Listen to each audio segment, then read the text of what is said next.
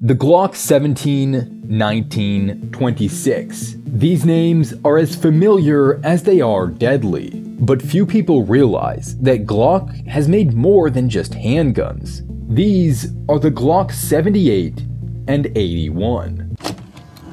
Before the Austrian brand became a weapons manufacturer, Gaston Glock was an expert in plastic injection molding. He and his wife mass produced polymer consumer goods out of a small shop north of Vienna. These products were everyday items like curtain rods and doorknobs. But in the 1970s, global tensions were rising during the height of the Cold War. Austria's geographic placement between the Allied NATO countries and the Warsaw Pact states of Central Europe gave them a cautiously neutral status, something they were desperate to maintain. In an attempt to arm themselves, while also avoid purchasing weapons from either side of the conflict, the Austrian government began to invest heavily in domestic arms production.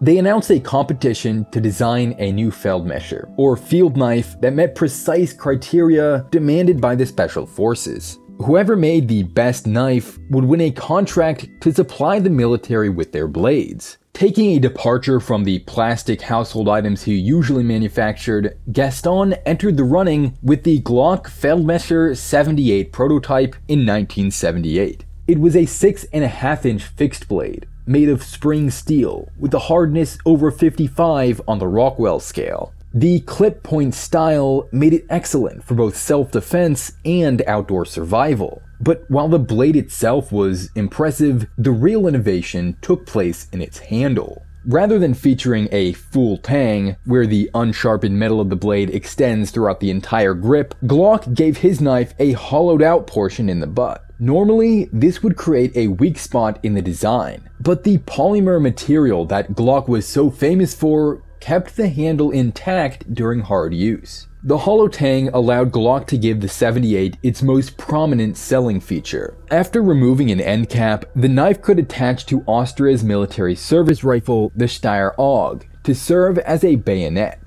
The crossguard was also carefully upturned to allow a tight fit under the gun's flash hider. An unexpected side benefit was the superior weight distribution caused by this bayonet cavity, making the Glock an exceptional throwing knife. Modern survivalists have also found other uses for the bayonet mounting system. The hollow handle can help the knife serve as a spear, while the bent guard is a handy bottle opener. The focused functionality of the 78 was enough to win over the Austrian government and score Glock their first big contract. Legend has it that the military placed an initial order of 25,000 blades to supply troops pushing Gaston and his wife to take turns stamping out knives around the clock. But as successful as the 78 was, Glock still found room for improvement.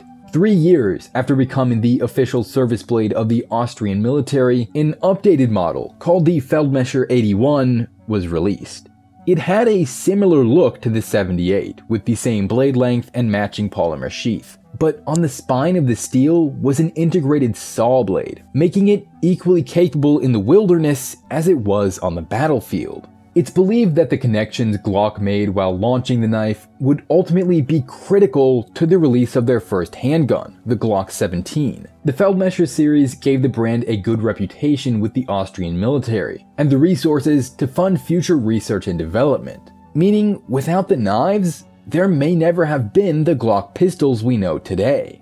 The 78 and 81 are still in use around the world. They've become, to a degree, the European equivalent to America's Ka-Bar. It's a sturdy, capable tool, with applications reaching far beyond the original military scope. So the next time you're staring down the barrel of an Austrian polymer-framed 9mm, you can be grateful for a less painful fate than the brutal performance of a Glock 78 Feldmesser. Hit the subscribe button to hear more knife stories like this.